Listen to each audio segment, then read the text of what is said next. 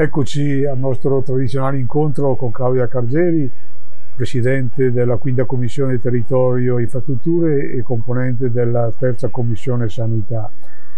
Claudia, buongiorno, buongiorno intanto. Buongiorno, buongiorno Luigi. Ben tornata con noi. Parecchi argomenti, ma vorrei partire brevemente sul discorso sanità. Stiamo vivendo un attimo, tra virgolette, felice, nel senso che i casi stanno calando, stanno diminuendo, però la domanda che la gente si fa è cosa ne sarà delle strutture che sono state realizzate nei periodi di, di, di maggior spicco sì, eh, grazie Luigi perché ovviamente il, il, tema sanità è un tema che è, è, sui giornali tutti i giorni, ovviamente abbiamo vissuto in Regione Lombardia che voglio ricordare essere la regione eh, con 11 milioni di abitanti, con i maggiori aeroporti. Regione Lombardia è tre volte l'Emilia Romagna e ha una densità di popolazione ovviamente molto eh, raggruppata, i centri abilitati sono ricchi di, eh, hanno numerosissime persone, pertanto noi abbiamo avuto uno tsunami che ci ha eh, coinvolto e eh, ovviamente abbiamo, sappiamo poi bene, avuto i, i casi più numerosi di tutta Italia. Questo è, è un po' anche quello che va ricordato perché qui c'è eh, un po' la volontà da parte eh, di, di, dei mezzi, dei media di eh, demolire un po' il sistema, eh, il modello lombardo, pertanto al di là degli schieramenti politici noi dobbiamo essere fermamente convinti che Regione Lombardia è una regione da tutelare da preservare, soprattutto perché ha numeri importanti sia dal punto di vista economico che dal punto di vista numerico. Per quanto riguarda eh, le strutture sanitarie che sono nate ah, durante l'emergenza, ehm, è nata un po' di polemica rispetto all'ospedale in fiera, che ricordo è nato grazie a risorse di privati, quindi nessun finanziamento pubblico è stato speso. Era un ospedale che serviva in quel momento di emergenza perché non sapevamo più eh, dove mettere i nostri malati, tanti sappiamo che sono andati anche fuori regione.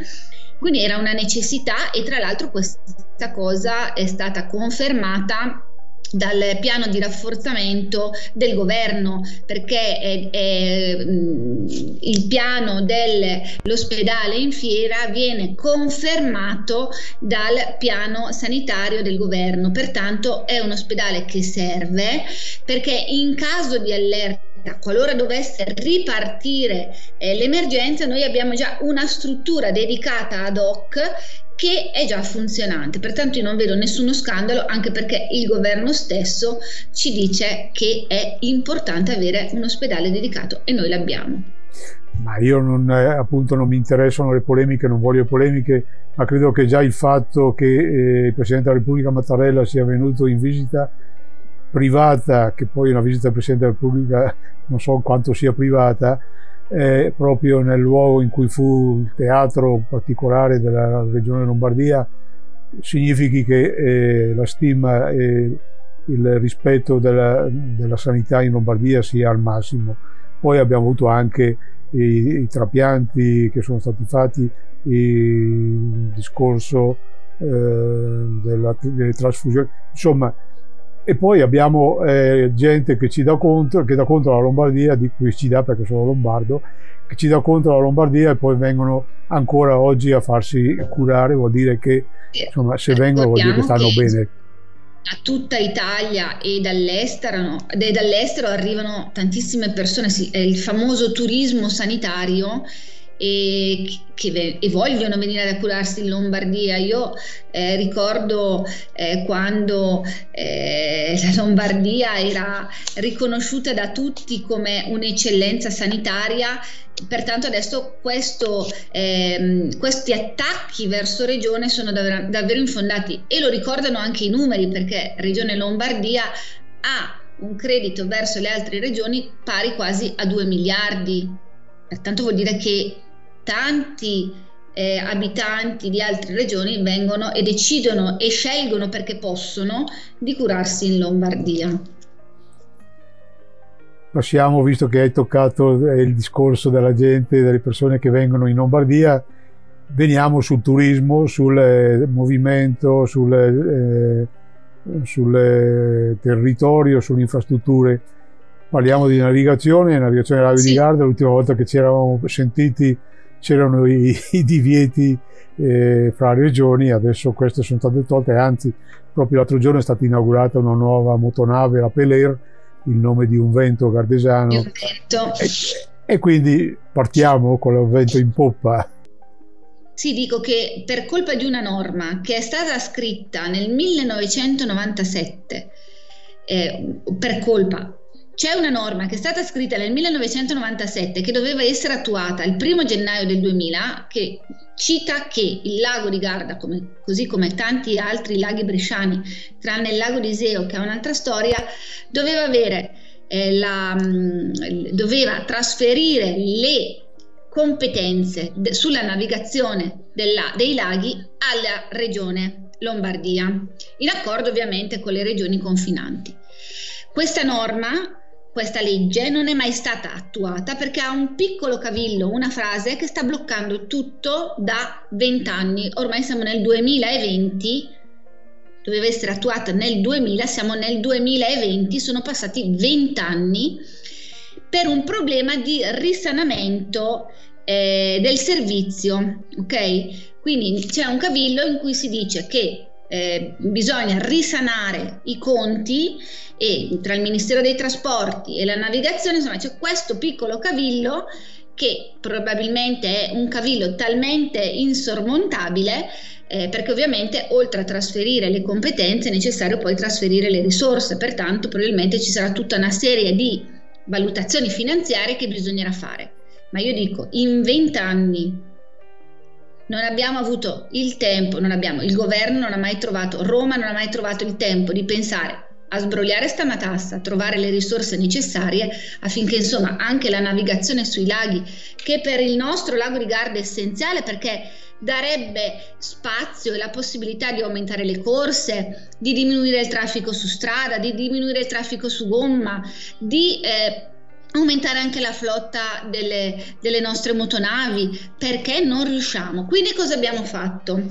Eh, abbiamo, siccome come vi ho raccontato nelle puntate precedenti, stiamo rivedendo la legge regionale sui trasporti, che è la legge 6 del 2012, una legge molto complessa che riguarda il trasporto pubblico locale, riguarda gli aeroporti, riguarda la navigazione dei laghi, riguarda i taxisti, gli NCC, insomma una legge molto corposa, molto complessa, che vi faccio l'esempio, solo sul trasporto pubblico locale ha portato via 5 o 6 sedute di commissione per trovare e per eh, ascoltare un po' gli operatori che si occupano occupano di questo settore. Stiamo quindi rivedendo questa norma, una norma che ha, come vi ho detto, tantissime sfaccettature e quindi stiamo eh, ascoltando un po' tutti gli operatori. Sulla navigazione dei laghi ci siamo detti, caspita, questo è un problema che non riusciamo noi a sbrogliare. Abbiamo fatto una risoluzione lo scorso anno, votata all'unanimità da tutto il Consiglio regionale, quindi maggioranza e minoranza, in cui si chiedeva alla Giunta di sentire il governo per trovare un, eh, una soluzione a questo problema.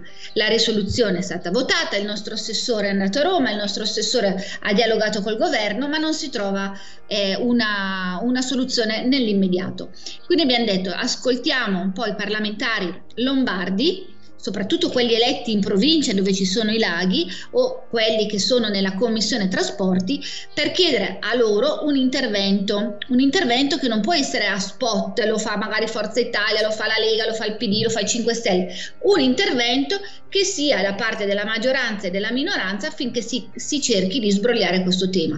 È un tema importantissimo, lo ripeto, è un'opportunità che possiamo dare ai nostri laghi per aumentare le corse, per essere indipendenti ed è un tema che è stato eh, oggetto di diversi documenti, di diversi dibattiti, di diversi eh, approfondimenti anche da parte della comunità del Garda, dei nostri sindaci gardesani. Insomma, c'è stato tanto movimento eh, politico in questi anni.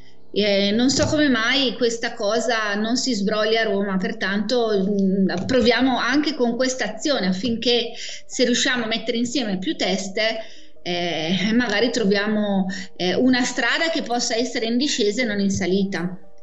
Bene, altro argomento, passiamo alle infrastrutture, passiamo alle palestre, eh, un argomento importante, stanno anche queste riaprendo con calma, con tutte le dovute cautele, cosa ci dici?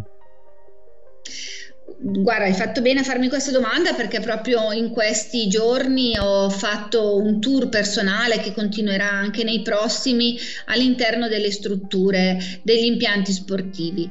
Eh, le, le, società sportive si dividono in due, nelle associazioni sportive dilettantistiche e nelle società sportive dilettantistiche. Le società sportive dilettantistiche sono società a tutti gli effetti, anche se non hanno una speculazione o una, la possibilità di, ehm, di guadagnare eh, hanno la, la, possibilità di fare, eh, di essere azienda nonostante non ci siano gli utili. Eh, pertanto credo che sia un settore che genera un PIL importante in Regione Lombardia, ha eh, una, un, un numeri importanti anche dal punto di vista degli perché sono stata in una palestra, ti ho perso un secondo, sei tornato, perfetto, sono stata in una palestra proprio ieri in provincia di Bergamo, per non citare le nostre bresciane, ma le, ho, le sto postando sui miei social, eh, questa palestra ha circa, più, ha circa 100 dipendenti eh, pertanto parliamo di numeri importanti e stiamo facendo una serie di valutazioni per istituire un tavolo regionale che si occupi eh, di eh, approcciare questo mondo non come eh, un, una semplice associazione sportiva, ma ad, all'interno anche dello sviluppo economico. Eh, pertanto noi crediamo insieme insomma, agli operatori che sia un mondo da tutelare, un mondo che deve essere considerato come le aziende eh, perché fa girare una serie importante di numeri.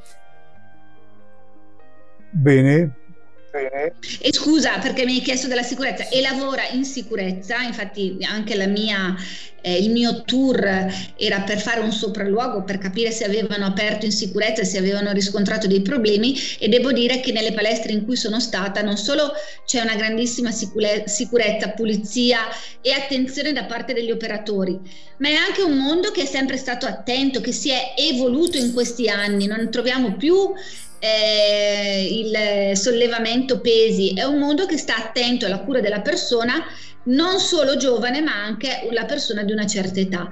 E oltre a fare benessere, crea anche economia e benessere anche per, propri, per, per il proprio personale perché non ha lasciato a casa nessuno questi in, in, nei mesi del lockdown.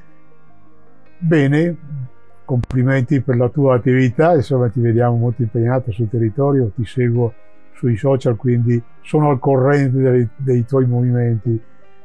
Eh, ti ringrazio Claudia per la tua disponibilità, ci diamo appuntamento fra una quindicina di giorni sapendo già che avrai parecchie cose da dirci perché conoscendoti non stai ferma.